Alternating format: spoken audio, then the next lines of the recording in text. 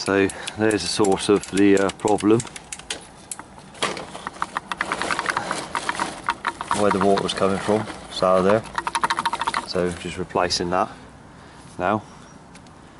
And then we'll get on and uh, sort the old uh, sinkhole out.